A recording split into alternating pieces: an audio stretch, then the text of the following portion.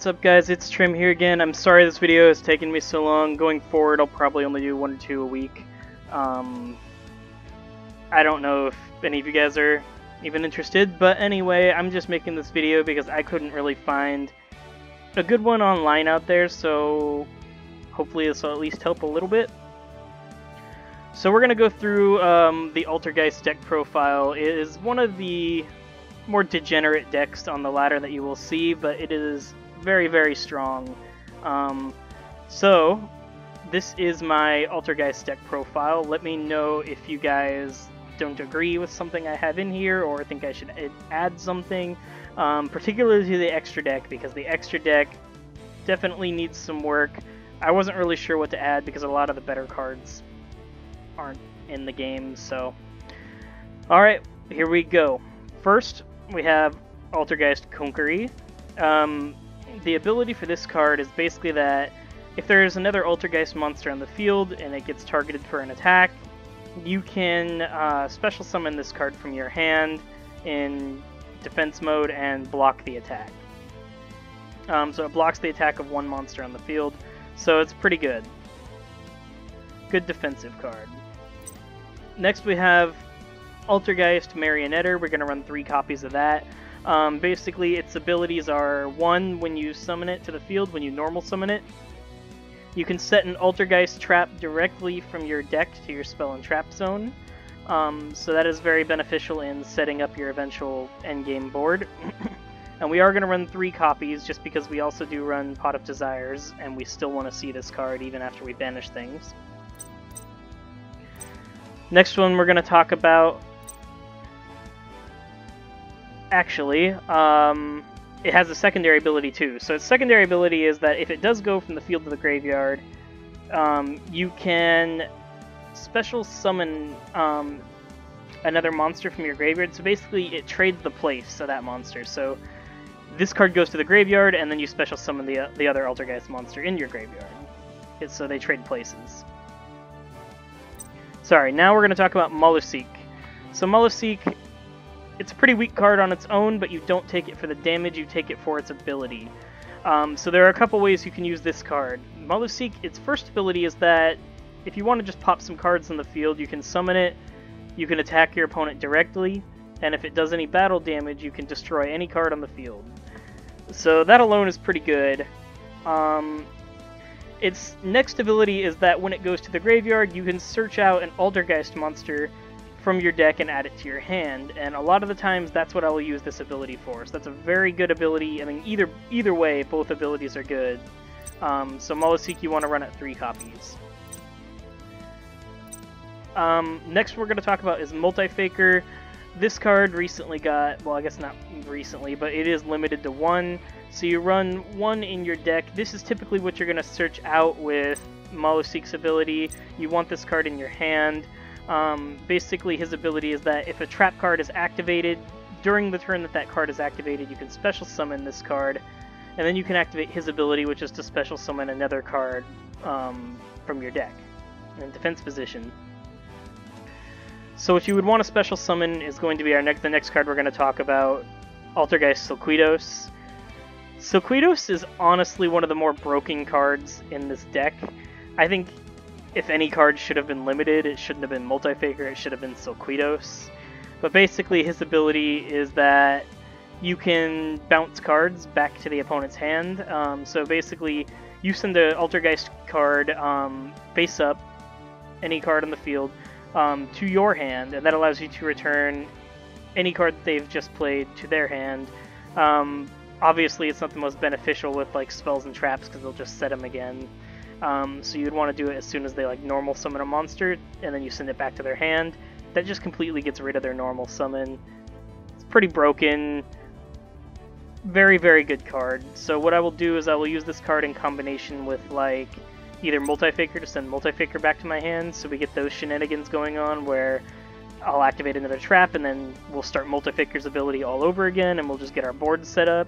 Or what I'll do is I will use it in combination with Altergeist Protocol, send Protocol back to my hand, and then we'll bounce one of their cards.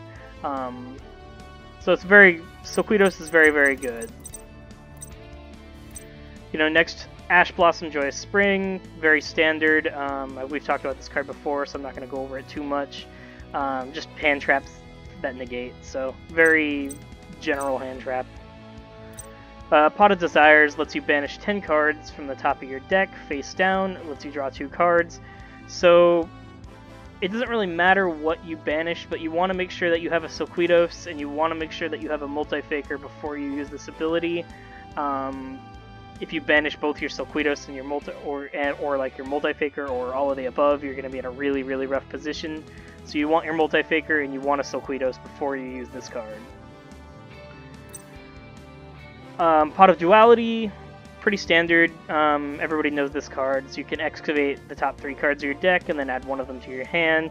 You can only use it once per turn, and you can't special summon during the turn you use this card. So use it kind of towards the end if you need the special summon. Now, Secret Village of the Spellcasters. I was running Imperial Order, um, which basically lets you pay 700 life points every turn to prevent the activation of spell cards. Um, and since you can see in this deck we don't run a whole lot of spell cards, it really benefits us. But I think Secret Village of the Spellcasters is honestly an upgraded version of that card for this deck. Um, so basically, if you control a spellcaster, your opponent can't activate spell cards, but you still can, so it doesn't block you unlike Imperial Order. And all your Altergeist cards, as you can see, they're all spellcasters. So if you have any Altergeist card up and you use this, you can prevent your opponent from activating spell cards. So that's very, very good. They won't be able to activate Twin Twisters and shit to get rid of your Altergeist cards, um, your Altergeist traps. Um, next we have Super Polymerization, um, just a good disruption card as you're going to see, this deck is all about disruption, so the super polymerization fits right in. Unfortunately, this deck isn't as good as it is in real life, just due to not having three super polys and you know pot of extravagance and that kind of thing. But it works well enough um, for the game. Oh, next we're gonna do Altergeist Manifestation. It's basically a monster reborn, or I guess called by the Haunted for um, for Altergeist cards. Um, the difference is that when this card leaves the field, um, you basically can target another Altergeist trap in your hand and add it to your, uh, or Altergeist trap in your graveyard and add it to your hand, excuse me. Um, most people will only run this at one because you can get some shenanigans going where you can basically just keep bouncing this card back to your hand, keep getting it out. Um, I run it at two just because the ban list for this game, there's nothing else really I would consider. So, um, Altergeist Protocol, this is a card that you want to see um, because it's basically a negate. So, and if they activate the effects of um, really any card, you can activate this card, negate whatever they have. It also prevents the activation, or it also prevents them from negating the activation of your um, cards. Um, sorry, this only works on monsters when they activate their ability. You can negate those. It doesn't work on spells traps. Um, but basically, um, it also prevents your Altergeist cards from being negated. So, like, if you have this up, they can't use negates on your cards. So it's pretty good. Um, sometimes if I have both of these up, um, to use the negate, you have to destroy an Altergeist card. If I don't have anything disposable and I have both of these, sometimes I'll just use it on the other protocol. Um, in the other protocol because that way I still have one. Um, and that way I don't have to get rid of one of my Altergeist monsters that I really don't want to get rid of. Um, so next we have Compulsory Evacuation Device, just pretty much the same thing as Silquitous. Um, just lets you bounce cards back to the hand. Um, good for getting rid of those pesky normal summons. Um, you have your going second card evenly matched here. Um, if you do have to go second, evenly matched is very good. Forces your opponent to banish cards until they have the same number of cards you do, and they are banished face down. Um, because we don't run a lot of back row removal with this deck, I am running two heavy Storm Dusters that will take care of the back row. Um, very good for that. Next we have Infinite Impermanence, pretty standard. Um, it's kind of like Ash Blossom in that it negates abilities, but this will negate any ability. Um, and if it was set, then it will negate the abilities of any cards or any uh, spells or traps that are in the same column as this. Um, so you run three copies of Impermanence, very good. Another ability negate, Lost Wind. You can target one special summon monster in the field, negate its ability, and you half its attack. Um, the interesting thing about this card is that when it negates and it halves the opponent's monster's attack, it is pretty much permanent until that card leaves the field. It's not like it, do it doesn't go back to normal at the end of the turn. Um, so Lost Wind is pretty good. Um, also, when this card is in the graveyard, um, except for during the damage step, you can activate its ability from the grave to set this card again, so you can use it again, but then after that it gets banished the second time. So it's like you run it's you run two copies, but essentially you can use it four times. So pretty damn good. Personal spoofing. Um, this is a card that you want to see. You want personal spoofing up, probably even before you use Pot of Desires um, because it will allow you to protect your cards, it will allow you to change your hand. But basically, you can shuffle one Altergeist card from your hand or face up on your field into your deck, and then add one Altergeist monster from your deck to your hand. So basically, if I have this up, and let's say I have, you know, Multi-Faker up, um, I don't want Multi-Faker to die, so I will, and, you know, they attack him, so I will use Personal Spoofing, send Multi-Faker back to my deck, and then draw Multi-Faker again to add it to my hand So that's one way you can use it. Or like, you know, let's say you use Silquitous and you bounced one of their cards and they, uh, all you have on the field is your Silquitous and you don't want it to die, and you don't have like Kunquery to defend yourself, you can use personal spoofing, send Silquitous, uh, sorry for the drift, you know, switch controllers. Um, you can send Silquitous back to your hand, um, and that will, yeah, you'll take some life point damage, but you'll protect your card. So very good. Um, pretty standard. I would run three copies of this if I could, but this game and its ban list only lets you run one.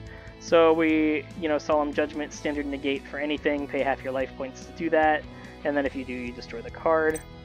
So in its place, I would run, I run two Solemn Strikes, um, so when a monster special summoned or when a monster effect is activated, pay 1500 life points, negate the ability, and then destroy the card. Um, just because I can't run three judgments, we're going to run two strikes. And then Solemn Warning. Um, I would actually run more than this if I could. I'm pretty sure it's limited. Um, so when a spell trap is activated or when a monster is summoned, um, that includes an effect that special summons a monster, you pay 2,000 life points, negate the special summon, and if you do, you destroy it. Um, Torrential Tribute. Um, this pretty standard card that just, it's kind of like a Dark Hole, destroys everything on the field, destroys all monsters. Um, so as you can see, this deck is very, very focused around disrupting your enemy. It is very, very annoying to deal with. The downside to this deck is it's sort of like a death by a thousand cuts deck. Like as you can see, none of your monsters are particularly very strong, so it's going to take some time to whittle their life points down to zero. Um, Anyway, for your extra deck, we are going to start out with your Super Polymerization target, your Starving Venom Fusion Dragon. Um, very good card, copies abilities. Um, so yeah, your this is your boss monster for the deck, Altergeist Hexstia. Um, it's kind of clunky to use in my opinion, just because to, you know, it is a two-link monster, and you're not running a lot of monsters in general on this deck, so when you use it, basically, you would want to get rid of like an extra Marionetter and like an extra Meluseek probably, but you would want another Marionetter on the field, um, basically underneath this card because this card will gain the attack of whatever card it's pointing to with those arrows. So the your your highest attack monster is going to be your Marionetter, so it'll gain 1600 attack, which puts it at 3100. Um, it also has an ability to where if they activate a spell trap, you contribute the card that this card is pointing to and negate it. Um, so it's it's good, but it's kind of a heavy cost because then your attack goes back down to 1500, so use it wisely. Um, Prime Banshee card I never really use. It's alright. So basically you contribute an Altergeist monster, special summon another Altergeist monster from your deck to, to a zone this card points to. Um, if it's sent to the graveyard, you can target an Altergeist monster in your graveyard and add it to your hand. you can only use the effect of each um, effect this card has once per turn. So you can special summon, and then it's kind of like you can recycle cards from your graveyard back to your hand. It's okay. I would just... It's three-link monster, so it's kind of heavy to bring out, and I would much rather just bring out Hexstia. Um, I'm never really in a position to where I need it, but it's good to have just in case. Um, your standard Knightmare package, so you have Knightmare Cerberus, Knightmare Phoenix, Knightmare Unicorn. Then we're going to run three Link Kuribohs, so that we just have the ability to send Meluseek to the graveyard, if ever we want to. Um, and it also will protect your life points, so like if you just get a shit hand, you have nothing. Um, then you have Ningirsu, so if you bring this card out, um, you can send one card from either player's field to the graveyard. And if this card is sent from the field to the graveyard, you can special summon a World Chalice monster from your hand.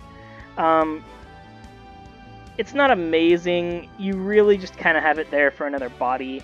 Um, if you guys can think of anything else to add to this deck um, in the context of this game, please let me know. This is kind of what I have so far. Um, it's very hard to kind of work around the ban list for this deck. Um, but the deck is still functional and you can still have fun with it. Um, so let me know if there's things that you guys would like to change or if you have any questions. Um, you can always get a hold of me through the comments. Um, Alright, that covers this video. I'll see you guys next time.